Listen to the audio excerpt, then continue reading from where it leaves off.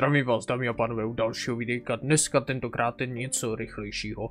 Potřebuju od vás asi tři věci.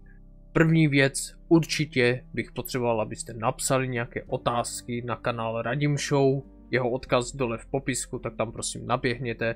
Mohou to být jakékoliv otázky, jestli aj nějaké skopírujete z, z internetu, je mi to úplně jedno. Takže to je první věc, kterou bych potřeboval.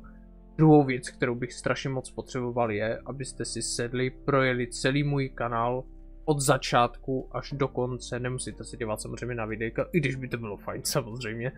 A potřeboval bych vědět váš upřímný názor, co si myslíte o tomhle kanálu a klidně se rozepište v komentářích, když komentář bude mít klidně i 3 a čtverky na čtení, budu moc rád.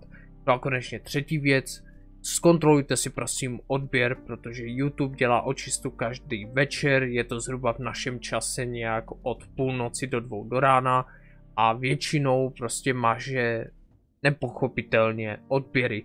Takže si to zkontrolujte a pokud nemáte odběr, tak ho prosím dejte, můžete si to kdykoliv rozmyslet a navíc je to zdarma. Takže jo, to je ode mě všechno, vím, že prostě teďka nestíhám, ale věřte mi, už jenom chvíli a půjde to všechno do svých kolejí, slibuji.